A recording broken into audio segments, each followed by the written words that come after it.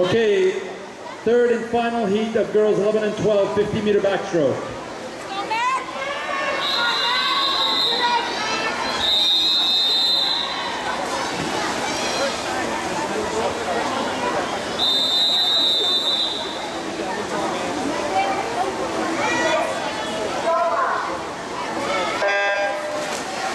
Okay, six swimmers in this final heat. Mackenzie from Stingrays in lane two. Sophie from American Club Shooting Stars in lane three. Katie from Swim Lab in lane four. Felicity from Speedy Swim in lane five. Ariel from Fighting Fish in lane six. Anushka from APSC in lane seven.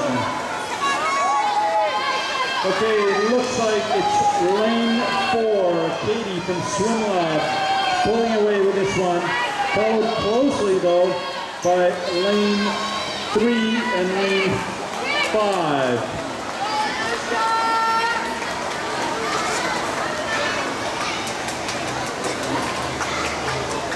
And Anushka.